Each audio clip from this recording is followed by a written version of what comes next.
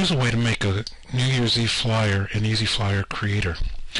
Select a template, a custom template. That way you can do whatever you want to do with it. And then uh, what I've done is selected one of my uh, pictures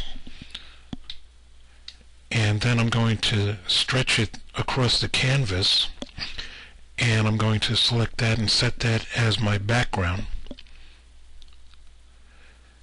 and then from there I can start populating the text windows. Uh, in the banner template text window I'm going to replace that with the New Year's Eve party banner line. And then what I want to do is change the color so you can see it a little bit better. So I'm going to change it to white. And then I'm going to give it a little bit of a uh, shadow in the background. I'm also going to do that with the body of the text window where I'm putting the information about the party in. And I also want to do that with the address window at the lower left hand corner.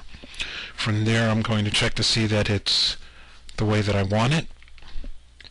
And then from there I want to save it. And once I save it then I would be able to print it.